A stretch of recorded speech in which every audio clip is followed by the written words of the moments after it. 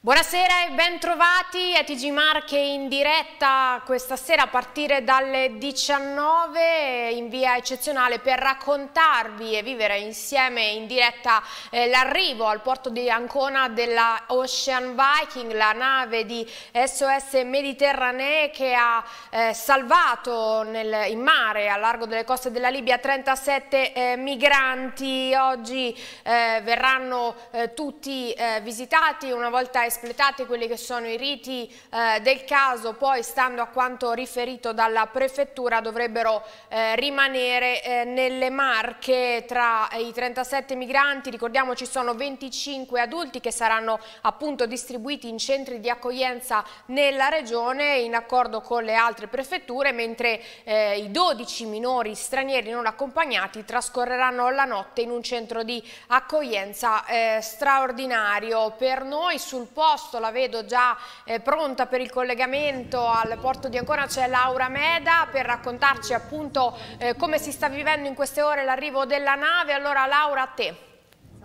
Ecco, per quanto riguarda il prefetto Darco Pellos che questa mattina ha parlato con noi. Sì, grazie Giulia. Come potete vedere qui alle mie spalle fervono i preparativi quando eh, siamo arrivati sul posto qualche eh, ora fa c'erano già diversi volontari ma sono arrivati adesso eh, molto più numerosi gli uomini della Croce Rossa e poi sono attesi anche altri volontari della protezione civile.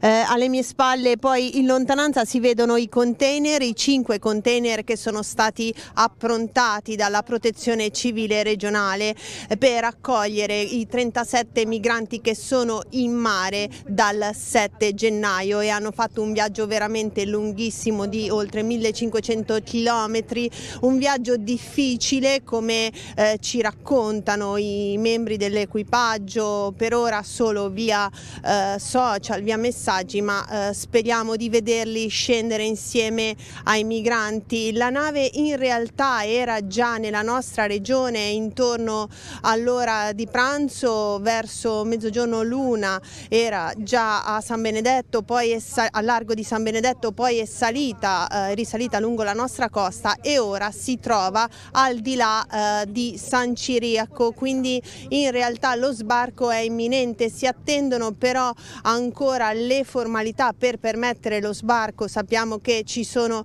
una serie di norme da rispettare per quanto riguarda i controlli, in particolare quelli sanitari, quindi è proprio questione di poco, avverrà per le 8, forse poco prima. Intanto è arrivato arrivato qui ehm, circa mezz'ora fa o poco più l'assessore regionale alla protezione civile Stefano Aguzzi e proprio lui abbiamo sentito su questa prima accoglienza che ha approntato la protezione civile e anche sulla questione molto dibattuta degli sbarchi in eh, città diciamo del nord da Livorno a Ravenna e ora Ancona, una questione che ha fatto molto discutere e allora sentiamolo e poi linea allo studio.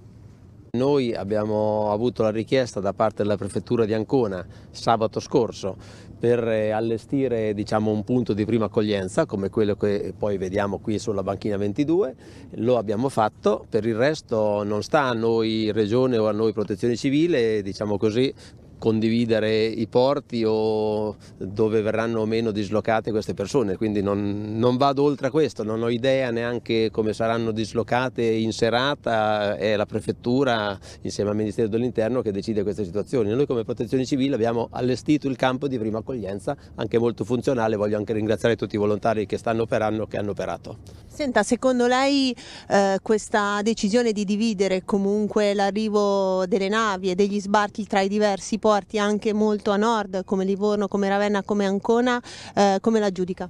Io rispondo a livello personale come Stefano Aguzzi, assessore Stefano Aguzzi. Secondo me è un modo per disimpegnare un pochino le parti sud del nostro paese che sono sinceramente sotto stress da anni e credo che sia opportuno una presa di coscienza e di responsabilità in maniera più diffusa in tutto il resto del paese. Quindi perché no? Purché ci sia una, una redistribuzione ben seguita, ovviamente ben monitorata. Queste dunque le parole dell'assessore alla protezione civile regionale Stefano Aguzzi, raccolte dalla collega Laura Meda che abbiamo ascoltato prima in diretta appunto dalla banchina 22 del porto di Ancona dove si attende appunto eh, l'attracco della Ocean Viking. Ovviamente torneremo a collegarci con lei nell'arco di questa diretta per raccontarvi poi passo passo tutti quelli che saranno i prossimi eh, step. Ma ricordiamo anche che al porto di Ancona è attesa per domani la seconda seconda nave in arrivo, parliamo della Geo Barents di Medici Senza Frontiere, in questo caso sono 73 i migranti a bordo eh, che stando eh, però agli ultimi eh, aggiornamenti a causa del maltempo, eh, l'arrivo appunto previsto per domani pomeriggio potrebbe slittare alla serata di domani oppure eh, addirittura fanno sapere dalla nave non escluso che l'arrivo slitti addirittura a giovedì eh, mattina. Ma eh, siamo riusciti anche a eh, raccogliere ehm, la testimonianza di uno dei 73 eh, migranti a bordo della eh, Geo Barents e quindi andiamo ad ascoltare insieme la storia di Oshak, che è un nome di fantasia, lui ha 21 anni, è partito dal Sudan e ha ripercorso appunto in un'intervista il suo viaggio tra torture e umiliazioni subite in Libia prima di salpare per mare alla volta dell'Europa. Tra le parole che emergono del suo racconto, eh, ce, ne, eh, ce ne sono alcune che sono veramente molto forti. Lui ha detto meglio morire tra le onde che tornare in mano ai libici. E allora ascoltiamolo. من ضواحي إريتريا in Libia la tortura ti segue dentro e fuori dal carcere o nelle stanze dove ti rinchiudono. Ci facevano mangiare pasta mischiata ai sonniferi e al mattino ti trovavi un morto accanto, mentre quello dietro di te era stato torturato. Un mio amico aveva sognato ad occhi aperti di andare in Europa. Al mattino l'ho trovato morto e ho coperto il suo corpo. Ero pronto a morire in mare pur di non essere catturato dalla guardia costiera libica ed essere riportato indietro e subire di nuovo umiliazioni e torture. Oshek, nome di fantasia, ha 21 anni ed è uno dei 73 sopravvissuti a bordo della Geo Barents, la nave di ricerca e soccorso di Medici Senza Frontiere. Salvato nelle acque a largo della Libia, nei giorni di navigazione che lo conducono in Italia, al porto di Ancona, racconta la sua storia e ripercorre il viaggio che lo ha condotto a salpare dalle coste libiche. Originario dell'Eritrea, a quattro anni Oshek è scappato con sua madre in Sudan. La speranza della donna era di salvare il figlio dal servizio militare che nel paese d'origine dei due arruola nell'esercito anche bambini di 8 o 9 anni. In Sudan il ragazzo ha vissuto per circa 13 anni con il desiderio, fin da giovanissimo, di lasciare quel paese per arrivare in Europa. Il sogno di una vita migliore, però, si è inevitabilmente scontrato con la dura realtà che quel viaggio rappresentava. Pensavo sarebbe stato semplice arrivare in Libia e poi in Europa. In Sudan ho fatto diversi lavori, ho lavorato in un ristorante, in una miniera d'oro nelle montagne. Poi ho deciso di andare in Libia e ho pagato un intermediario. Lui mi aveva detto che avrebbe pagato il trafficante, ma il trafficante mi disse che non aveva ricevuto niente e così per tre mesi ho lavorato per lui in una fattoria. Non sempre mi trattava bene e dopo tre mesi sono scappato. In Libia gli eritrei sono costretti a vivere nascosti perché se ci vedono ci rapiscono per chiedere il riscatto, convinti che abbiamo parenti in Europa. Sono stato rapito due volte ma entrambe le volte sono riuscito a fuggire. Fino al giorno in cui non ho lasciato la Libia ho subito torture e maltrattamenti e ho visto con i miei occhi persone picchiate e maltrattate. Mi hanno legato le mani e bruciato con una sbarra di ferro ardente. Ho il petto pieno di cicatrici. Dopo 15 giorni di torture uno di questi trafficanti, vedendomi in quello stato, ha detto agli altri che sarei morto se avessero continuato a torturarmi. Altre persone che avevano già pagato il proprio riscatto hanno raccolto altri soldi e hanno pagato anche per me.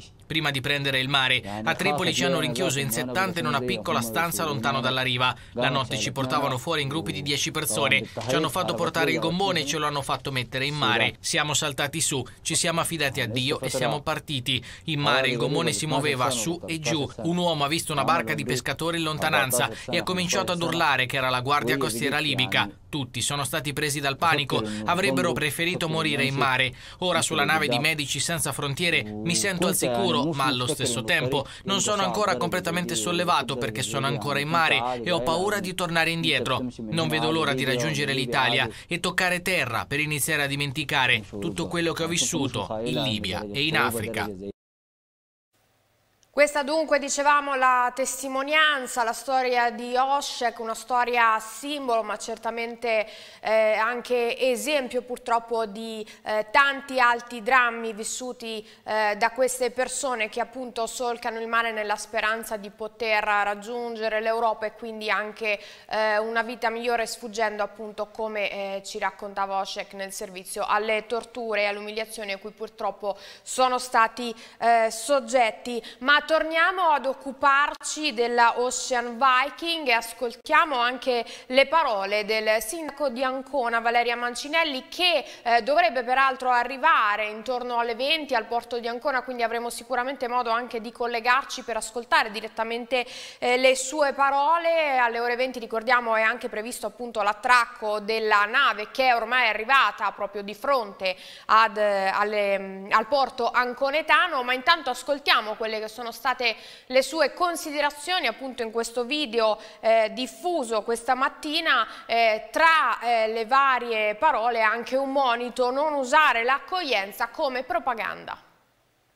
Questa singola vicenda del porto di Ancona non presenta particolari specifiche criticità, semmai è l'intero sistema di accoglienza che presenta criticità e che vanno affrontate le presentava anche prima, anche con i precedenti governi e continua a presentarle queste criticità anche con questo governo. Il tema è serio e complicato e va affrontato, va affrontato nelle sedi istituzionali ed evitando però di usarlo, di usarlo da parte di tutti per propaganda a buon mercato.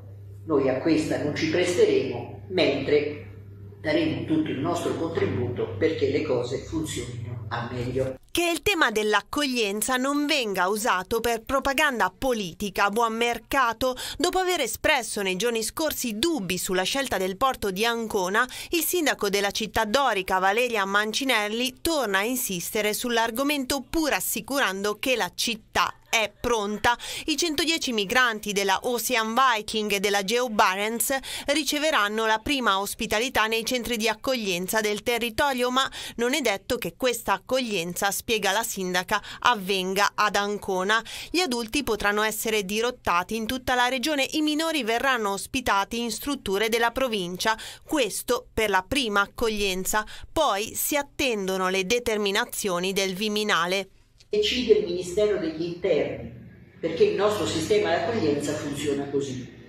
È il governo centrale che finanzia e gestisce i centri di accoglienza in tutta Italia e di volta in volta destina i richiedenti asilo nei centri dove ci sono disponibilità di posti. Non c'è coincidenza tra luogo di sbarco e luogo di accoglienza. Esempio, alcuni di quelli sbarcati a Livorno, diversi di quelli sbarcati a Livorno qualche settimana fa, il Ministero li ha destinati proprio a centri di accoglienza in provincia di Ancona. Nella città di Ancona, attualmente ormai da tempo, eh, sono ospitati nei diversi centri di accoglienza circa 400 persone, questo prima dell'arrivo delle navi Ecco, chiaramente l'accoglienza è un tema importante che eh, sta eh, tenendo banco in queste ore perché ovviamente al di là dello sbarco poi si dovrà capire effettivamente come e dove accogliere queste persone. Lo dicevamo in apertura, tutti e 37 i migranti che sbarcheranno questa sera dalla Ocean Viking, stando a quanto riferito dalla eh, prefettura, dovrebbero appunto rimanere tutti nelle Marche. I 25 adulti saranno distribuiti in centri di accoglienza nella regione in accordo con altre prefetture, mentre i 12 minori stranieri non accompagnati per questa sera trascorreranno la notte in un centro di accoglienza straordinaria, una struttura ricettiva individuata dalla prefettura e poi invece a partire da domani andranno in centri per minorenni nelle Marche in base alla disponibilità di posti. Invece eh, si attende ancora di capire, come dicevamo anche prima in apertura, quali saranno le destinazioni dei 73 migranti in arrivo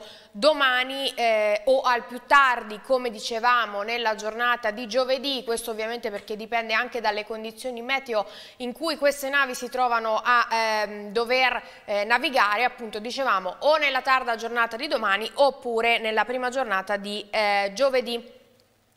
Ma andiamo invece a sentire anche le eh, parole del prefetto eh, di, di, Pesaro Urbino, il neoprefetto Emanuela Saveri Greco che ha assunto ufficialmente ieri l'incarico e che oggi ha incontrato la stampa. Ovviamente un pensiero è stato rivolto anche nell'arco della conferenza stampa proprio a, eh, a questo a questo e quindi eh, sentiamo meglio perché lei ha detto al momento non abbiamo ricevuto comunicazioni eh, sui eh, riparti dei naufraghi, attendiamo notizie da Ancona ma se dovesse servire dice siamo pronti a garantire il nostro contributo e allora ascoltiamo.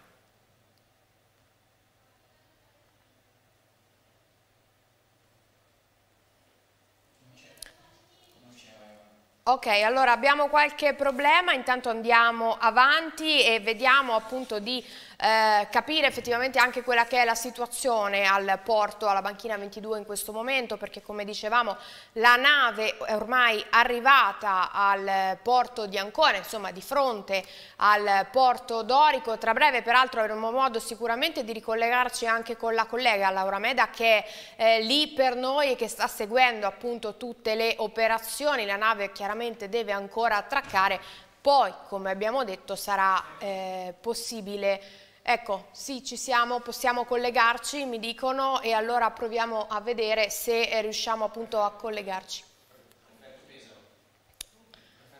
Ci colleghiamo tra poco, vedo che non siamo ancora pronti, allora cerchiamo di recuperare intanto il servizio del prefetto eh, di Pesaro, appunto che come dicevamo si è insediato eh, da poco, la neoprefetta di Pesaro Urbino Emanuela Saveri Greco e che eh, nell'arco della conferenza stampa di presentazione appunto ha detto al momento eh, proprio sullo sbarco eh, non abbiamo ricevuto comunicazioni sui riparti dei naufraghi ma attendiamo notizie da Ancona, se dovesse servire dice siamo pronti chiaramente a garantire garantire il nostro contributo. Non sappiamo ancora il piano di riparto, ci perverrà dal prefetto di Ancona, e non, non, sappiamo se saremo chiamati anche noi a dare il nostro contributo, e in caso positivo lo daremo come abbiamo sempre fatto. Lo abbiamo sempre fatto con i prefetti nelle, nelle mh, province in cui ho lavorato come vicario, come capo di gabinetto che è stato quello di gestire il fenomeno e non di subirlo, in modo che eh, ci sia anche quella integrazione di cui molte volte si parla ma che raramente si riesce ad ottenere. Porto aperto ad Ancona per lo sbarco dei 110 migranti salvati dalle navi Ocean Viking e Geo Barents, porte aperte a Pesaro per l'eventuale seconda accoglienza dei naufraghi. Lo si apprende dalle parole del neoprefetto della provincia di Pesaro Urbino, Emanuela Saveria Greco, che ha assunto l'incarico ufficialmente ieri, 9 gennaio gennaio. Greco, nativa di Terravecchia Cosenza, arriva dalla prefettura di Pisa dopo un percorso accademico e professionale lungo, importante e articolato in tutta Italia. Nella fitta agenda già effettuate riunioni con le istituzioni pesaresi, domani toccherà quelle con le autorità ducali e si va avanti con visite da programmare in tutti i comuni a partire da quelli alluvionati. Intanto Greco fissa i primi obiettivi. Continuerà ad essere massimo l'impegno proprio per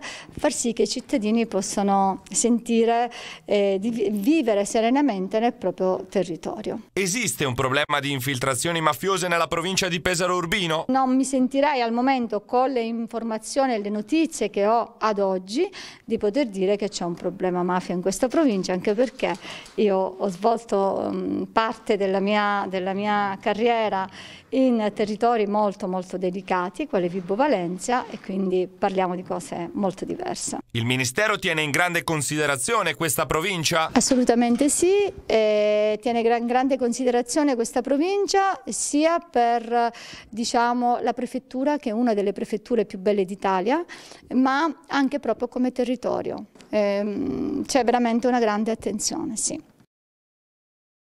E queste dunque le parole del neo prefetto di Pesaro Urbino, ma adesso invece torniamo al porto di Ancona perché vedo pronta a collegarsi con noi la collega Laura Meda insieme a un operatore della Croce Rossa che adesso Laura appunto ci racconterai si occuperà no, di tutti quelli che sono gli screening sanitari a cui verranno sottoposte queste persone una volta scese dalla nave. Allora eh, raccontaci meglio come si sono organizzati.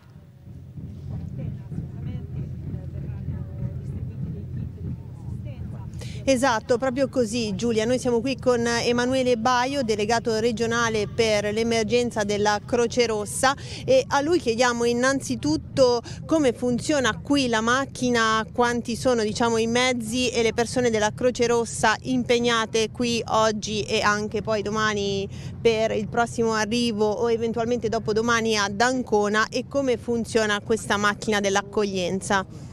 Beh, per noi Croce Rossa ci è stato chiesto il supporto da parte della prefettura che l'abbiamo messo a disposizione al sistema dell'accoglienza nello sbarco e oggi siamo qui per appunto favorire no, l'accoglienza dei migranti dove con 41 operatori della Croce Rossa daremo la prima assistenza eh, che va al di fuori al sistema prefettizio con coperte, tè caldo e materiale insomma, per riscaldarli o, o altro materiale vestiario.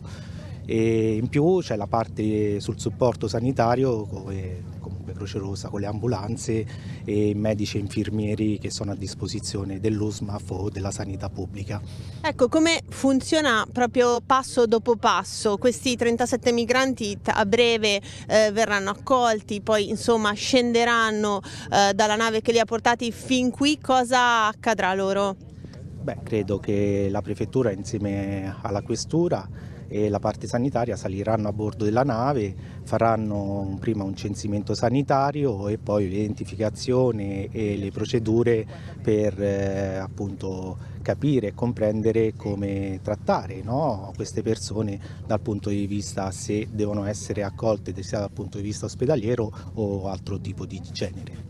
Ovviamente hanno fatto un viaggio duro, eh, è stato detto, non so, mh, mm, vi è stato detto dalla Ocean Vikings, ci sono situazioni per cui siete eh, pronti magari a intervenire subito, comunque sono persone che hanno affrontato questo mare dal, dal 7 gennaio.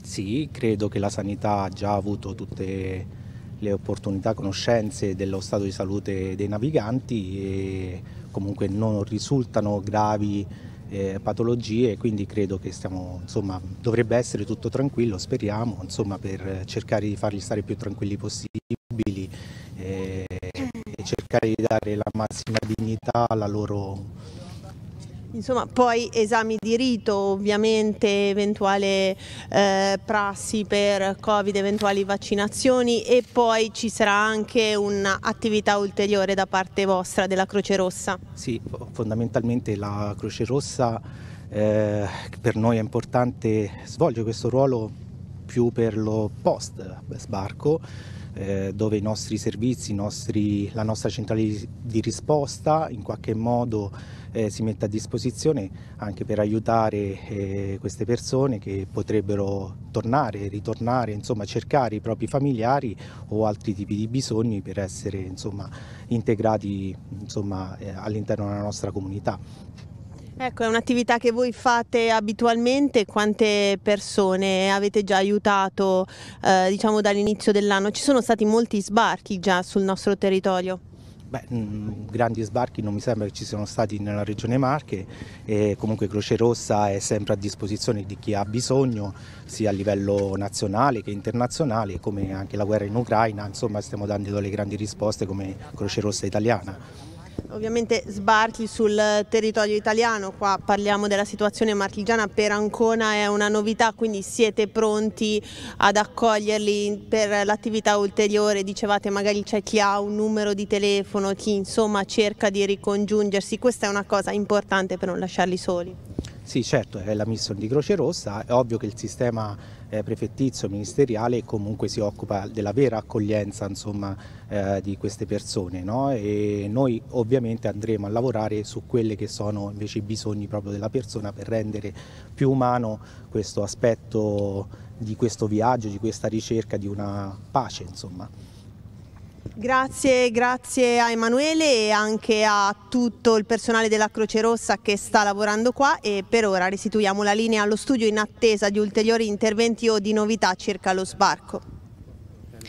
Grazie, grazie a te Laura, ovviamente poi ti daremo nuovamente la linea anche perché come eh, ricordavamo prima eh, si attende anche per le 20, oltre ovviamente all'arrivo della nave in porto, anche l'arrivo del mh, sindaco di Ancona Valeria Mancinelli, quindi avremo modo anche di ascoltare eh, le sue eh, parole, anche se parte ovviamente delle sue riflessioni le abbiamo già sentite prima attraverso eh, un nostro servizio, ma torneremo appunto a dare darti eh, la linea. Nel frattempo però eh, cambiamo un attimo pagina per eh, raccontare anche un altro aspetto che è quello della ricostruzione post sisma. In particolare eh, ci troviamo a un momento di svolta proprio in, per, che, per, quello che riguarda il futuro della struttura eh, commissariale, tempo di svolta e anche di bilanci perché il commissario alla ricostruzione post sisma del centro Italia Giovanni eh, Legnini passa il testimone al senatore Guido Castelli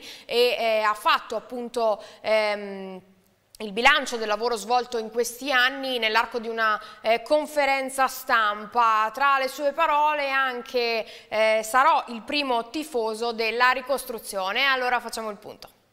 Sono e sarò il primo tifoso del successo della ricostruzione nei prossimi anni nei prossimi anni. Giovanni Legnini saluta e ringrazia tutti gli attori della ricostruzione durante il passaggio di consegna al neo commissario straordinario per la ricostruzione post-sisma del centro Italia Guido Castelli. 28.000 richieste di contributi dai privati per 10 miliardi di euro, oltre 15.000 decreti di contributo concessi per oltre 5 miliardi di euro, 2.500 interventi pubblici finanziati con 3 miliardi e mezzo, tra cui 450 scuole per un miliardo e mezzo di euro, 1.251 gli interventi sulle chiese e gli edifici di culto finanziati per 800 milioni, alcuni numeri del bilancio di mandato. Sono stati poco meno di tre anni eh, molto intensi nei quali abbiamo tutti messo passione, dedizione, eh, ci siamo impegnati in questo percorso. Gli ostacoli che abbiamo incontrato sono stati per davvero molto rilevanti, la pandemia, eh,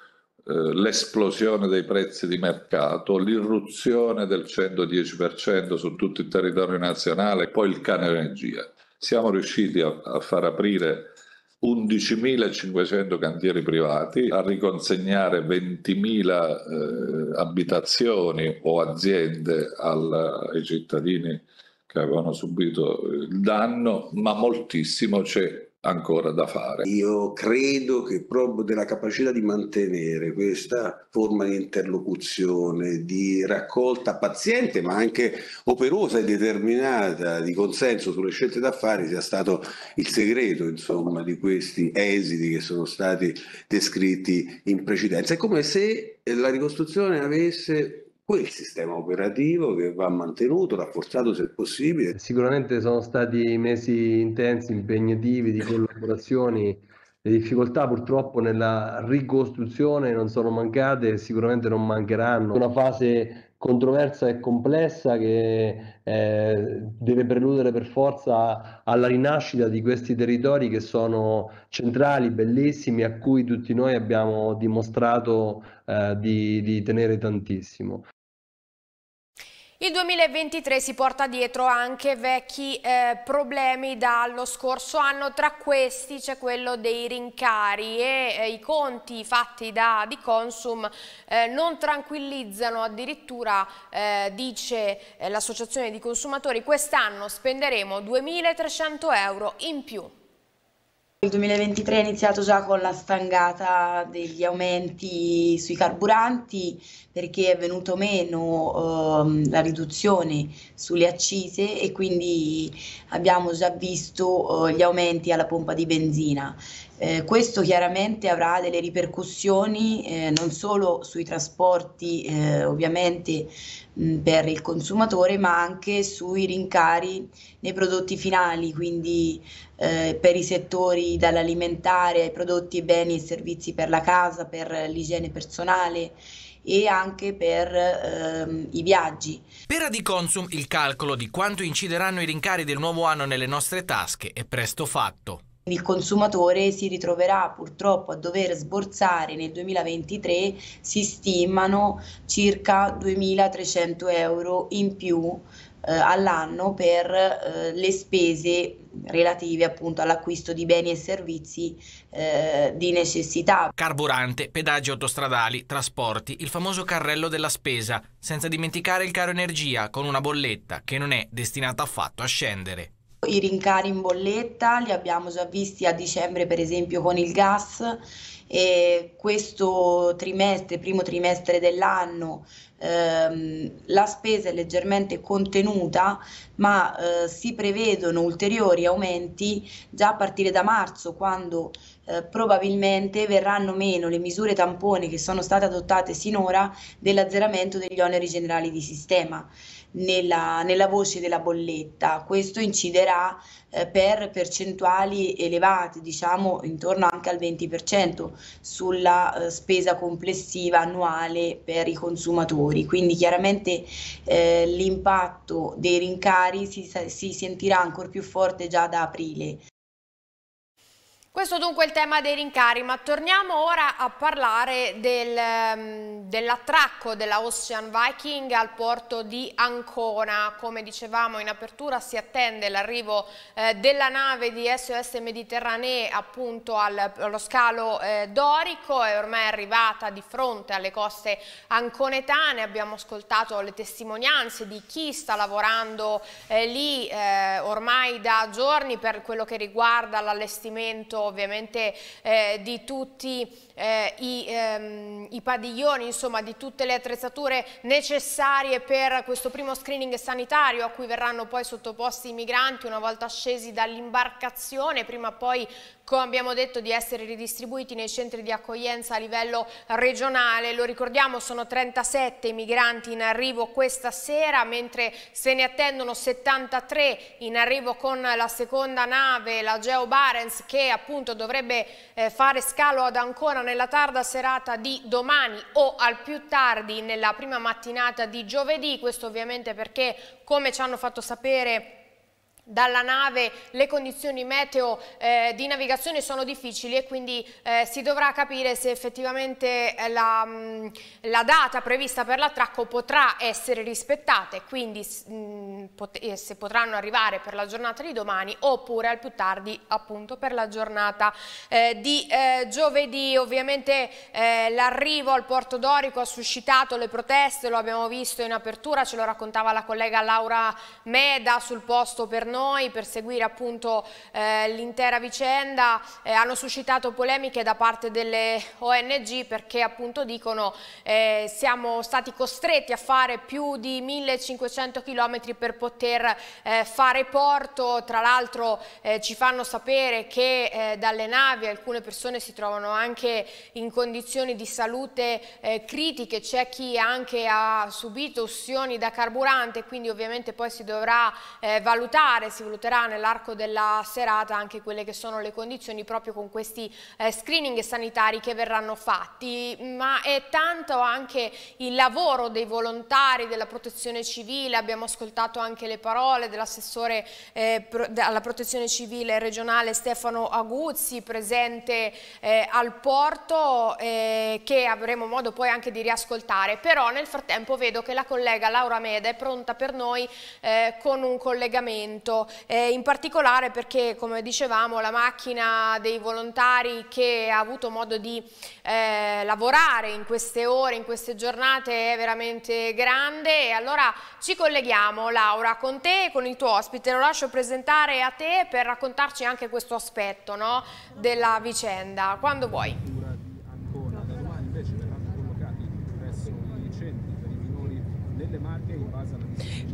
Sì, grazie Giulia. Qui vedete già Lorenzo Mazzieri, referente provinciale del volontariato per eh, la provincia di Ancona della protezione civile. Ovviamente con lui facciamo un passo indietro perché l'accoglienza non inizia oggi né domani, è iniziata eh, almeno tre giorni fa. Qual è stato il vostro lavoro qui ad Ancona? Il nostro lavoro ad Ancona è stato un lavoro di logistica, un lavoro di preparazione naturalmente coordinato con tutti i nostri funzionari, il capo dipartimento, il dottor Stefoni e tutti gli altri funzionari perché abbiamo dovuto vedere, eh, preparare quello che vedete alle nostre spalle, tutta la logistica con i container, con le segreterie, con gli uffici mobili, con anche eh, quello, che le, quello che sarà le prime visite, quindi l'ambulatorio mobile della protezione civile in collaborazione con Croce Rossa, abbiamo stabilito con le enti e le autorità portuali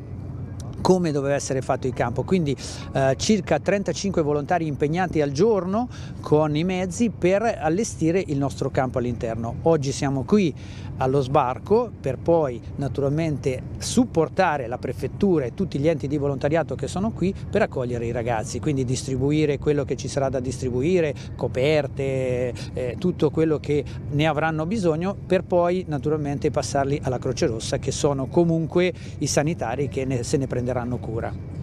Ecco, eh, voi non siete nuovi a, diciamo, alla, a, questo genere di lavori, però siete nuovi a uno sbarco per quanto riguarda almeno la nostra regione, la città di Ancona. Cosa vi aspettate di trovare? E cosa ci aspettiamo di trovare? Eh, troveremo tanta gente comunque che tanto sono tanti giorni che sono in mare, saranno anche un po' disperati, disidratati, eh, comunque anche frastornati da questi ulteriori giorni di navigazione che li portano ad Ancona, che comunque è una città che per eccellenza è stata sempre a braccia aperte con tutti, ricordiamo i vari terremoti, ricordiamo tante e tante calamità che sono successe nel nostro territorio, quindi Ancona li accoglie a braccia aperte, noi siamo preparati perché la protezione civile comunque eh, è preparata a queste emergenze, per noi è la prima volta di uno sbarco ma eh, con tanta eh, ansia ma con tanta attenzione riusciremo a dare sicuramente una valida mano a questi poveri eh, ragazzi che arrivano qui eh, senza niente. E eh, naturalmente eh, con, eh, con poco. E ringraziamo allora Lorenzo Mazzieri, referente provinciale di Ancona per la protezione civile, ringraziamo lui e tutti gli altri che lavorano qui per il loro impegno. Intanto qualcosa forse si muove, abbiamo visto passare dei sanitari, magari ancora presto ma di sicuro non manca molto, quindi per ora linea allo studio ma ci risentiremo appena ci sono novità. Grazie, grazie Laura. Allora ti ridaremo la linea non appena ci aggiornerai sull'arrivo della nave. Intanto andiamo avanti perché Abbiamo appena ascoltato appunto le parole del referente per quello che riguarda la protezione civile regionale, abbiamo visto anche quella che è stata eh, l'accoglienza preparata in questi giorni dai volontari della Croce Rossa perché appunto come giustamente sottolineavi tu in apertura l'accoglienza non, non arriva, non comincia dallo sbarco ma è già cominciata giorni fa proprio per prepararsi ad accogliere al meglio queste persone, eh, non solo per ridistribuirle poi appunto questi mh, primi 37 migranti che arriveranno questa sera all'interno della um, eh, regione Marche nelle sedi che sono state eh, adibite appunto dalla prefettura, tra loro lo ricordiamo ci sono anche dei minori ma poi ovviamente accoglierli e eh, poter mh, garantire loro le cure necessarie, soprattutto perché appunto lo ricordiamo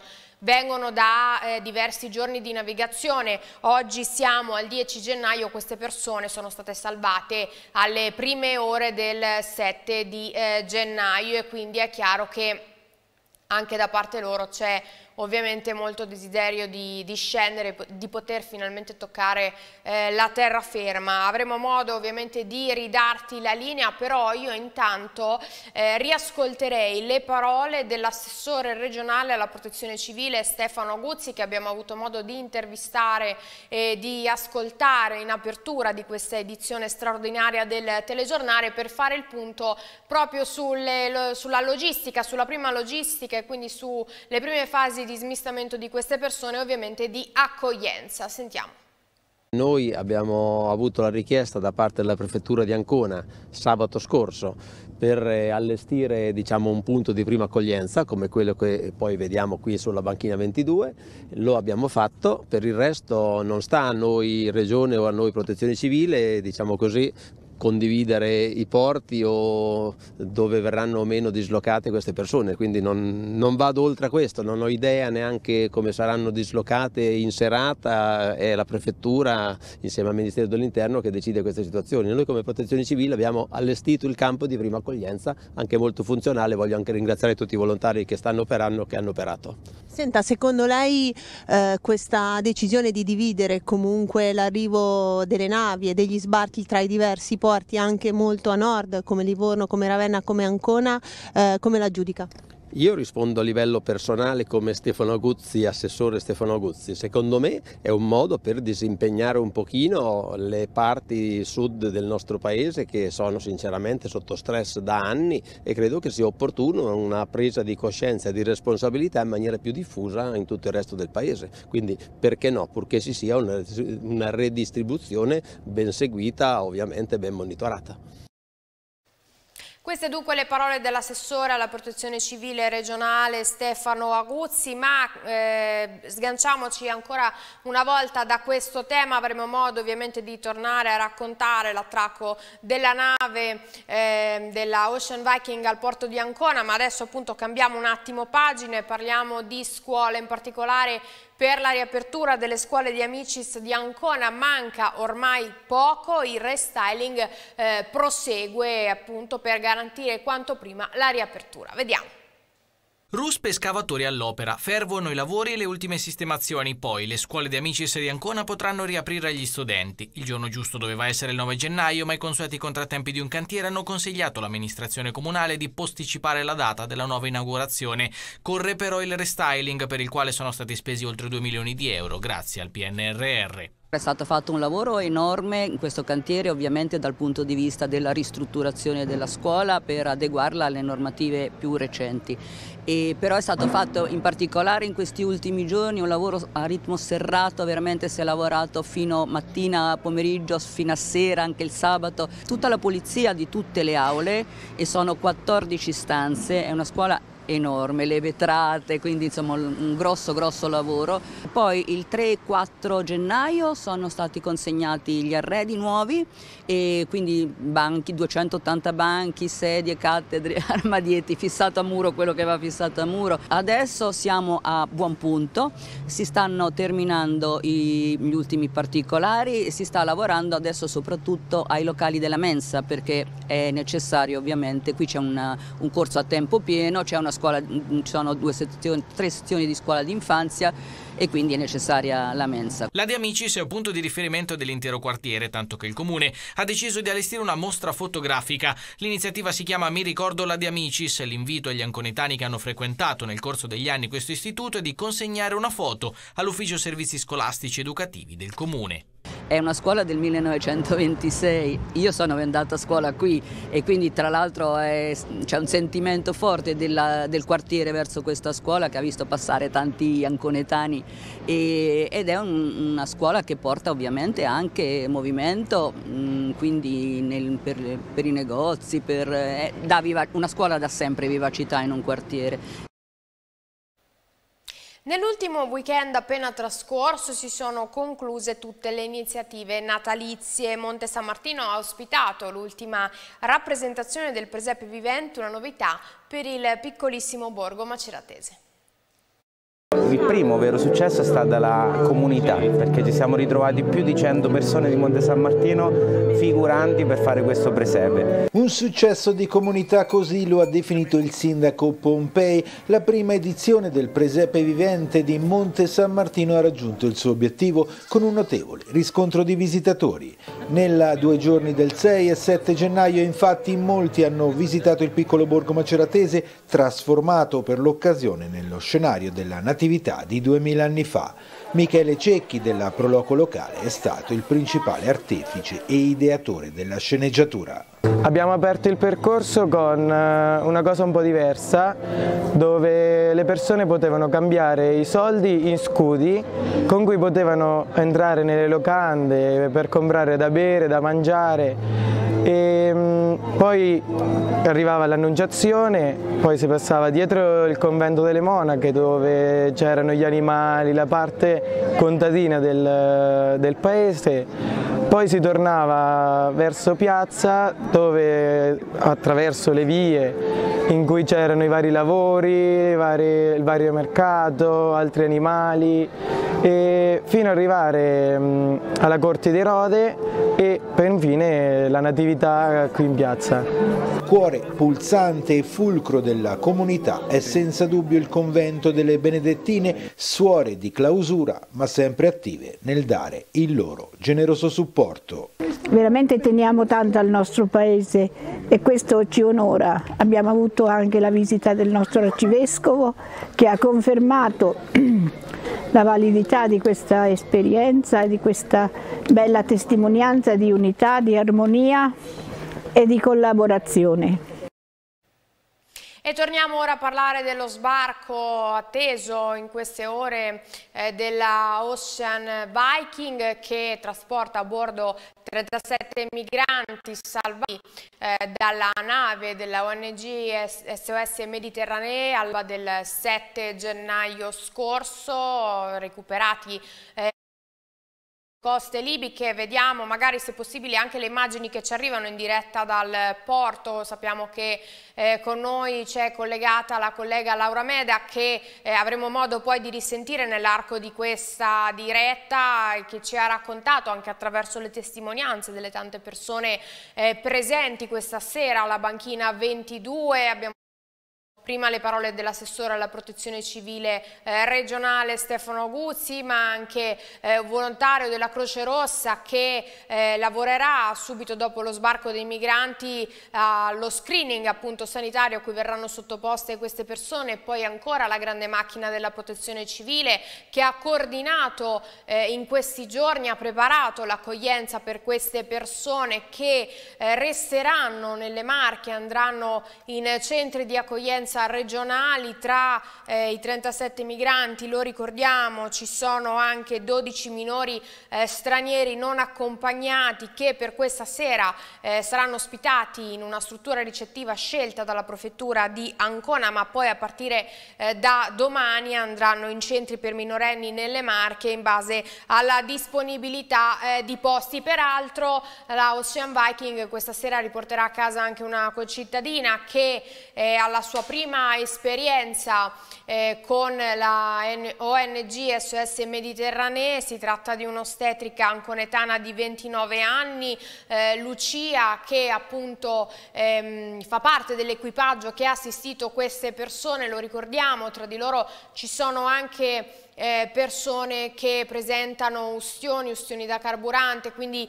ecco è chiaro che Sicuramente si tratta di persone eh, provate, provate non solo chiaramente dal punto di vista fisico ma anche psicologico eh, per la traversata chiaramente a cui eh, hanno deciso di eh, prendere parte ovviamente partendo dalle coste della Libia per raggiungere l'Italia, per raggiungere eh, l'Europa, per raggiungere e avere soprattutto un futuro. Questo ovviamente è il pensiero, l'obiettivo comune dei dei naufraghi della Ocean Viking, dei 37 naufraghi della Ocean Viking, ma anche dei 73 che eh, continuano a navigare invece verso il porto di Ancona a bordo della eh, Geo Barents, che lo ricordiamo dovrebbe attraccare invece allo scalo dorico nella serata di domani o al più tardi al, nel, primo mattino di giovedì. Questo perché come fanno sapere appunto dalla nave dei eh, medici senza frontiere, in questo caso le difficoltà sono determinate eh, da, eh, da, da, quelle che sono le condizioni di navigazione, quindi si dovrà capire effettivamente se si riuscirà a ehm, mantenere la data prevista inizialmente appunto per l'arrivo nella giornata di domani oppure eh, no, eh, sicuramente avremo informazioni poi nell'arco di questa diretta, però io tornerei ad ascoltare quelle che sono state anche le parole di uno dei naufraghi, le parole eh, raccolte da Medici Senza Frontiere di questo giovanissimo ragazzo di origini eritree, lui ha 21 anni, è partito dal Sudan e eh, ha raggiunto poi la Libia appunto per poter poi eh, salpare alla volta dell'Europa e allora ascoltiamo le sue parole. من ضواحي إريتريا in Libia la tortura ti segue dentro e fuori dal carcere o nelle stanze dove ti rinchiudono. Ci facevano mangiare pasta mischiata ai sonniferi e al mattino ti trovavi un morto accanto, mentre quello dietro di te era stato torturato. Un mio amico aveva sognato ad occhi aperti di andare in Europa. Al mattino l'ho trovato morto e ho coperto il suo corpo. Ero pronto a morire in mare pur di non essere catturato dalla guardia costiera libica ed essere riportato indietro e subire di nuovo umiliazioni e torture. Oshek, nome di fantasia, ha 21 anni ed è uno dei 73 sopravvissuti a bordo della Geo Barents, la nave di ricerca e soccorso di Medici Senza Frontiere. Salvato nelle acque a largo della Libia, nei giorni di navigazione che lo conducono in Italia, al porto di Ancona, racconta la sua storia e ripercorre il viaggio che lo ha condotto a salpare dalle coste libiche. Originario dell'Eritrea, a quattro anni Oshek è scappato con sua madre in Sudan. La speranza della donna era di salvare il figlio dal servizio militare che nel paese d'origine dei due arruola nell'esercito anche bambini di 8 o 9 anni. In Sudan il ragazzo ha vissuto per circa 13 anni con il desiderio, fin da giovanissimo, di lasciare quel paese per arrivare in Europa. Il sogno di una vita migliore, però, si è inevitabilmente scontrato con la dura realtà che quel viaggio rappresentava. Pensavo sarebbe stato semplice arrivare in Libia e poi in Europa. In Sudan ho fatto diversi lavori, ho lavorato in un ristorante, in una miniera d'oro nelle montagne. Poi ho deciso di andare in Libia e ho pagato un intermediario. Lui mi aveva detto che avrebbe pagato il trafficante, ma il trafficante mi disse che non aveva ricevuto niente e così per tre mesi ho lavorato per lui in una fattoria. Non sempre mi trattava bene e dopo tre mesi sono scappato. In Libia gli eritrei sono costretti a vivere nascosti perché se ci vedono ci rapiscono per chiedere il riscatto, convinti che abbiamo parenti in Europa. Sono stato rapito due volte ma entrambe le volte sono riuscito a fuggire. Fino al giorno in cui non ho lasciato la Libia ho subito torture e maltrattamenti e ho visto con i miei occhi persone picchiate e maltrattate. Mi hanno legato le mani e bruciato con una sbarra di ferro ardente. Ho il petto pieno di cicatrici. Dopo 15 giorni di torture uno di questi trafficanti, vedendomi in quello stato, ha detto agli altri che sarei morto se avessero continuato a torturarmi. Altre persone che avevano già pagato il proprio riscatto hanno raccolto altri soldi e hanno pagato anche per me. Prima di prendere il mare, a Tripoli ci hanno rinchiuso in 70 in una piccola stanza lontano dalla riva. La notte ci portavano fuori in gruppi di 10 persone, ci hanno fatto portare il gommone e ce lo hanno fatto mettere in mare. Siamo saltati su, ci siamo affidati a Dio e siamo partiti. In mare il gommone si muoveva su e giù. Un uomo ha visto una barca di pescatori in lontananza e ha cominciato ad urlare che era la guardia costiera libica. Tutti sono stati presi dal panico, avrebbero preferito morire in mare. Ora sulla nave di Medici Senza Frontiere mi sento al sicuro, ma allo stesso tempo non sono ancora completamente sollevato perché sono ancora in mare e ho paura di tornare indietro. Non vedo l'ora di raggiungere l'Italia e toccare terra per iniziare a dimenticare tutto quello che ho vissuto in Libia e in Africa. E questa dunque è la testimonianza di uno dei 73 migranti a bordo della Geo Barents che attraccherà appunto nella serata di eh, domani al porto di Ancona. Ma torniamo intanto alla banchina 22. Vedo collegata eh, con noi Laura Meda per aggiornamenti o comunque per raccontarci effettivamente quello che sta accadendo in queste ore perché c'è attesa per l'attracco della nave della Ocean Viking.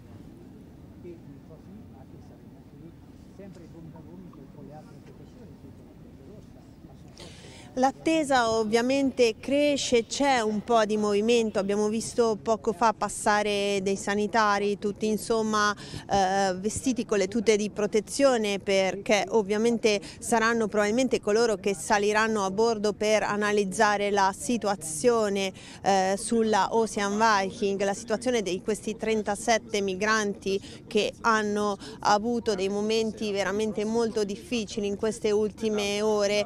Eh, la, ancora però non possiamo dirvi e non sappiamo con precisione quando eh, sbarcheranno, potrebbero essere anche lunghe le operazioni all'interno della, della, nave, noi non riusciamo a vederla, è ancora a largo ma vediamo, abbiamo visto del movimento, l'orario previsto è quello delle 8 di sera, eh, c'era stato detto inizialmente che forse eh, la nave sarebbe potuta arrivare arrivare anche per le 7, 7 e mezza, ma adesso oramai si sta concretizzando l'orario delle 8, forse potrebbe essere anche più tardi. Noi intanto eh, siamo qui e restiamo anche in attesa del primo cittadino di Ancona, Valeria Mancinelli, che eh, dovrebbe arrivare anche lei per eh, le 8 di sera. Intanto però eh, la temperatura si sta abbassando e freddo lo sarà anche per i migranti quando scenderanno, quindi speriamo che